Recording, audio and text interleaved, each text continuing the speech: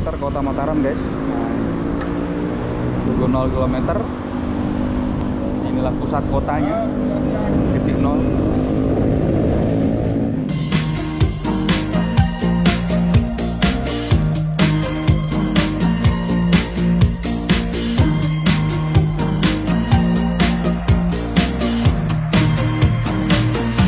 Assalamualaikum warahmatullahi wabarakatuh. Selamat pagi rekan-rekan sekalian Jumpa lagi di video saya Di hari Ahad. Ini kita lagi Jalan-jalan Di kota Mataram. Inilah suasana pagi hari kota Mataram Khususnya di wilayah Gomong. Nah ini pagi hari Sekitar jam 6 pagi ya hari Ahad di Gomong inilah suasana pagi hari. Masyarakat sudah mulai beraktivitas pagi. Di hari Ahad ini ada yang pergi sarapan ada yang membuka warung. Nah kita memasuki jalan Pancaka Gomong Timur.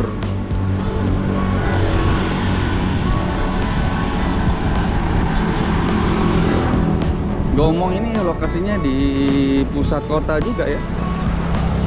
Ini terkenal dengan daerah kampus ya, karena dekat dengan Universitas Mataram dan universitas-universitas swasta lainnya.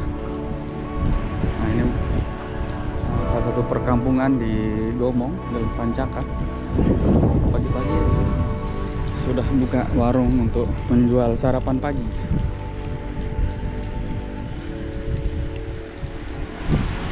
Nah di sini juga banyak ada beberapa kafe ya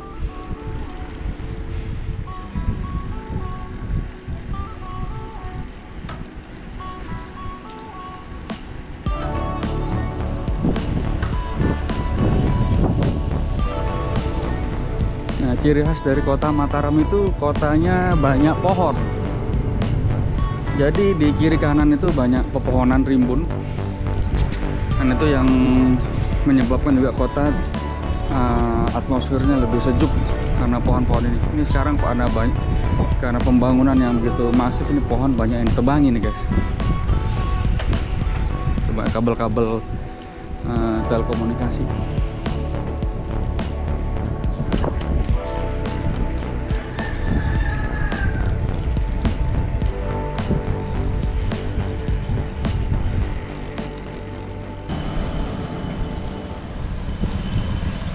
Ini kita akan melewati uh, jalan Mawar ini. Nah, sebelah kanan kita ini ini salah satu SMP yang terkenal, SMP 2 Mataram. Nah, mungkin kalian yang sekarang di luar Lombok, yang dulu masa kecilnya SMP-nya di Mataram dan pernah bersekolah di sini, jangan lupa di klik like dan komen nih. Inilah SMP kalian sekarang, SMP 2 Mataram dan sebelah kirinya SMP 1 nah ini SMP 1 Mataram. Nah inilah SMP 1 kota Mataram nah SMP ini salah satu SMP SMP legendaris ya SMP favorit di masanya. Dan sampai sekarang pun guys nih, SMP 2 Mataram. Mungkin kalian yang udah mensukses di perantauan yang dulu pernah sekolah di sini. Jangan lupa berkunjung kembali ke SMP-nya dan jika tidak sempat silahkan tonton saja video saya ini SMP 2 Mataram.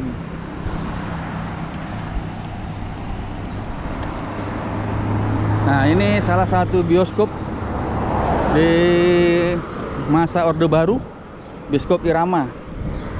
Sekarang sudah jadi gedung tua ya.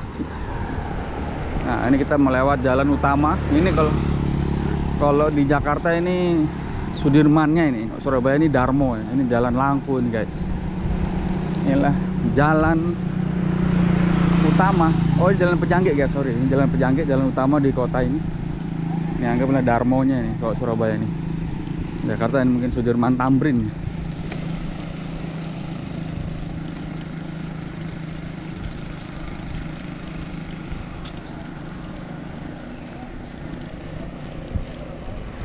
Halo guys, jadi kita lagi bersepeda dengan Om Paris dan Pak Adrian. Ini rencananya kita ke arah timur kota, terus masuk ke perkampungan. Nah, dan diakhiri dengan nasi pecel. Oke, tetap ikutin video saya. Nah, kita sudah sampai di Pajang ya. Daerah Pajang ya. Jadi ini perbatasan dengan Cakra Negara. Cakra Negara ini kota lama juga. Dulu ibu kota dari kerajaan Karangasem. Kotanya di sini. Jadi Mataram ini ada banyak kota tua ya. Dan jadikan satu menjadi kota Mataram. Ada kota Cakra, kota Ampenan, kota tua Ampenan dan Mataram sendiri. Dan Mataram asal katanya setahu saya itu dari bahasa Sangsekerta ya. Jadi karena mungkin pengaruh dari kerajaan Karangasem yang bercorak Hindu jadi menamai kota ini kota Mataram dari bahasa Sangsekerta. Nah ini sebelah kanan kita ini guys. Inilah Mataram Mall. Nah, ini mall yang paling tua ini di kota ini.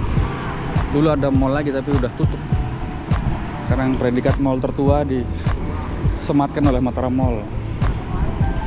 Nah ini jalan utama juga nih di kota ini. Seperti kita lihat jalannya lebar ya. Dan ini termasuk pusat bisnis. Di kiri kanan kita ini banyak kantor-kantor dan uh, unit usaha juga milik swasta. Seperti toko, rumah makan. Dan ada sekolahan juga.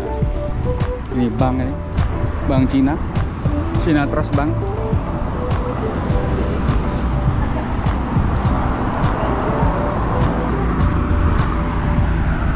Inilah suasana di hari Ahad atau hari Minggu pagi ini sekitar jam 6.30 dengan kondisi cuaca berawan ya di bulan Oktober ini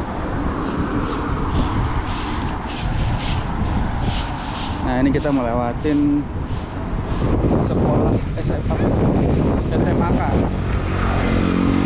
Nah sebelahnya rumah sakit Risa.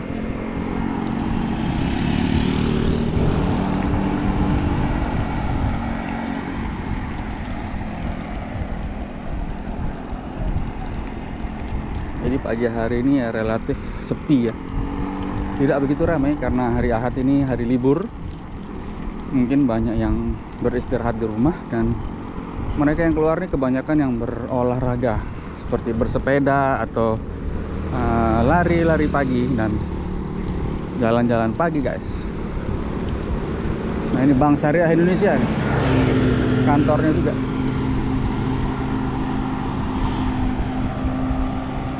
Nah ini dulu Apollo ini mata uh, bernama Mataram Plaza sekarang jadi Apollo. Karena Mataram Plaza seperti saya bilang tadi mall yang paling tua tapi sudah tutup.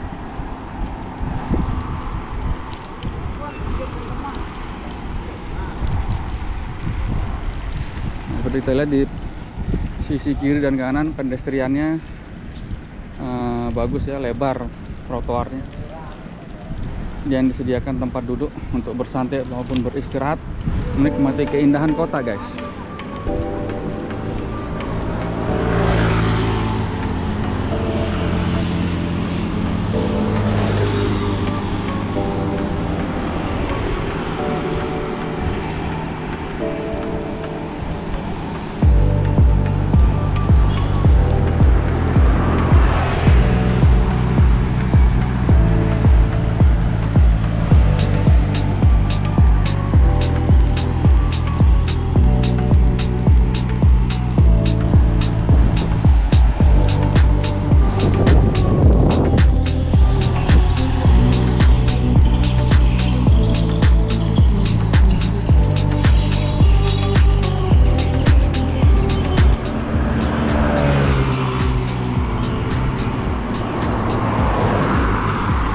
seperti di kota tua Menan di kota tua Cakra ini pun uh, seperti kita lihat ini bangunan-bangunan toko ya tua-tua ya.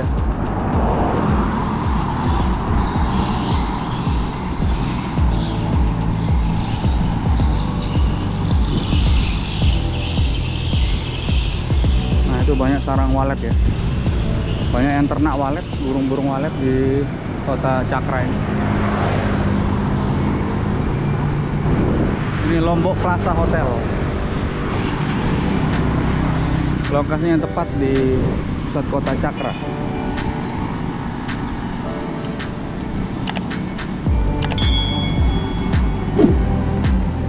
Oke guys, kita lanjut bersepeda karena kota Mataram ini areanya atau luasnya tidak terlalu besar.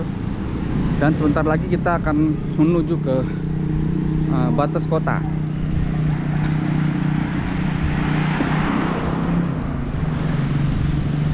Oke, sampai jumpa lagi di segmen berikutnya atau video berikutnya. Assalamualaikum warahmatullahi wabarakatuh. Oh bagus, iya bagus ini ternyata ada beruganya. Bang pakai heli dan semuanya. Oh, ini pakai drone ini.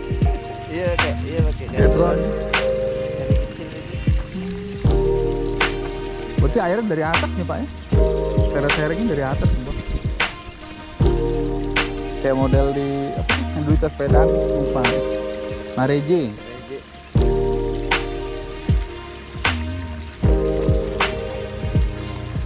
Iya, subur ya Narmada ini. Daerah tersubur ini. Nggak kurang air ini. Hmm, kangkungnya segar kali.